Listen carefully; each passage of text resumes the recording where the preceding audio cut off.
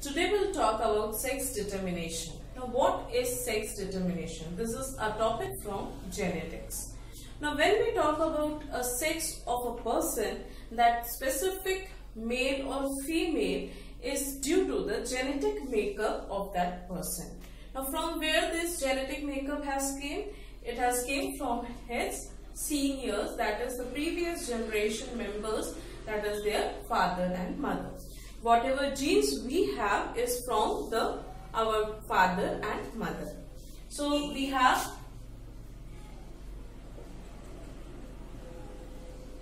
paternal means father and maternal that is mother.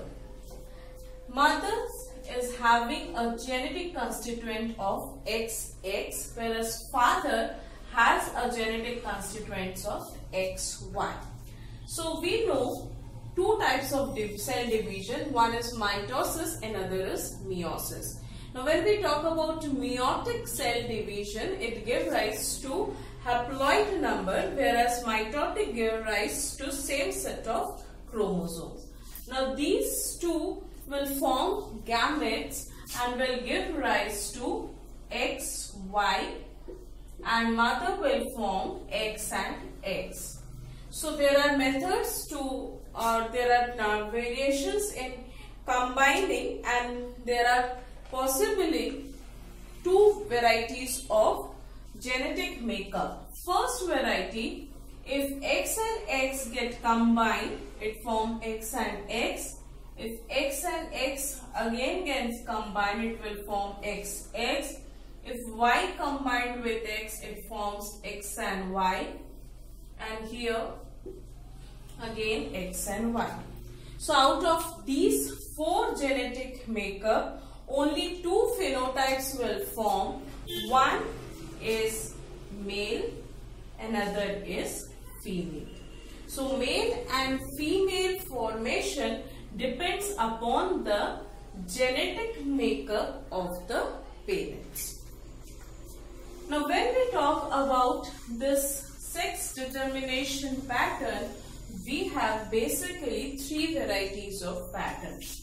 First is XX XY system. Now XX and XY.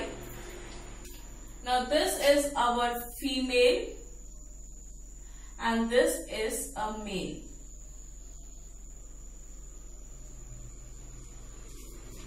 Now this type of system XX in female and XY is male is found in reptiles, plants, animals and mammals. Second variety of sex determination is XX and X0. Now what is this X0? XX means 2X chromosome which determines female whereas male is determined by a single X chromosome. If a single X chromosome is present and no other chromosome is present then it is known as a male person and represented by X0 and where this means nothing. So female has two X chromosome and male has only one X chromosome. This type of system is found in grasshopper. Third variety of system is known as ZW and ZZ. ZW is the female and ZZ is the male. This type is found in amphibians, some fishes, bees, etc. So this is the basic three varieties of genetic makeup upon which we determine the sex. Now there is another variety that is known as environmental factors. Now, apart from the genetic makeup, environment also plays an important role. Now, when we talk about environment,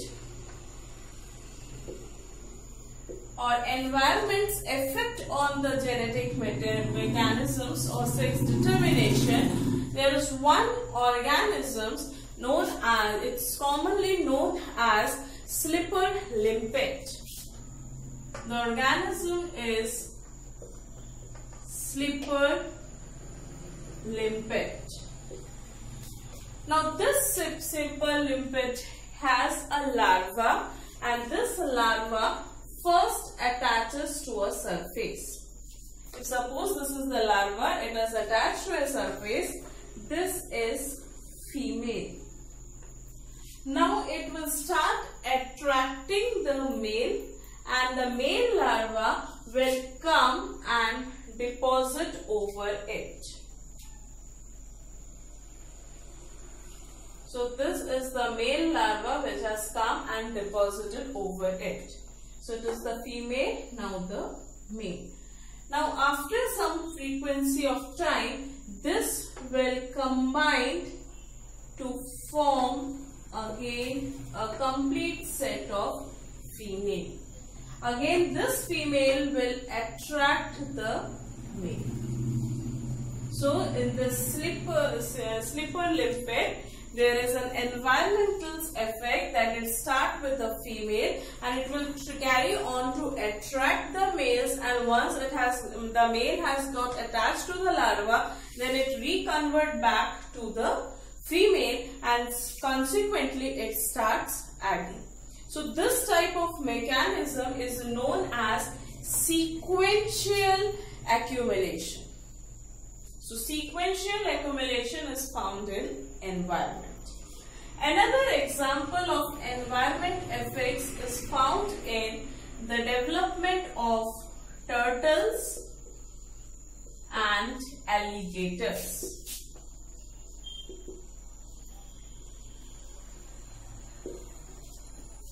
Now once the development has started in turtles, if there is warm environment, then in turtles it gives rise to females. Now if it is a cold environment, then it forms males. While in alligator, it is just opposite. In alligator, warm environment will give rise to males, whereas cold environment will give rise to females. This is the effect of environment or effect of the environmental temperatures on the development of turtles and alligator. Now we'll focus on the development or sex determination which in now we start with sex determination in Drosophila. It is very important topic for CSIR UGC NET. Now in Drosophila, it is not dependent on the sex determination is not dependent upon the X and Y. In Drosophila melanogaster, there is 8 chromosomes and apart from this 8 chromosomes, we have 3 sets of 6 chromosomes and 1 pair of autosomes. Now the male or female, it depends on the ratio of sex chromosomes to autosomes. Now when we talk about X chromosomes with autosome, this ratio determines the male or female in the Drosophila. Let's suppose if this X2A comes to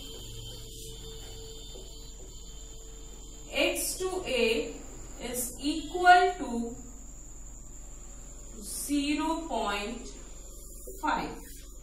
If it comes to 0 0.5, then it is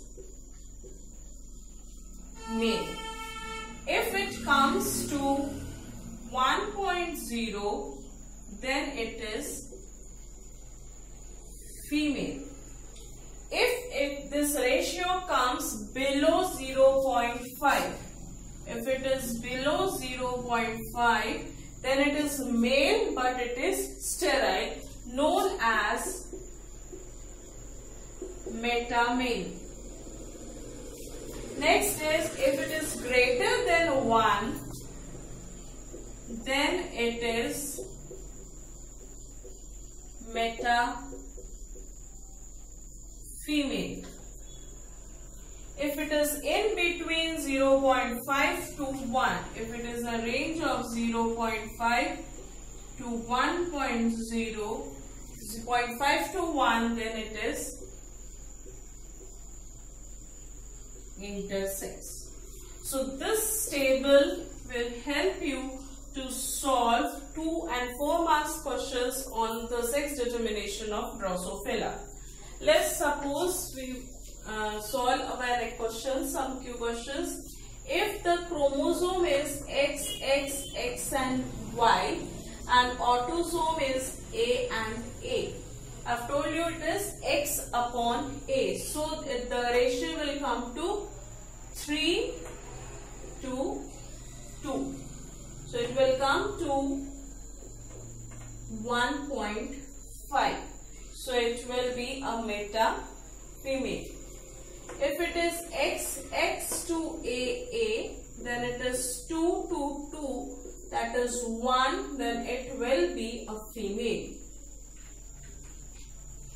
If it is X to A, that is 1 by 2, that is 0.5, it will be a male.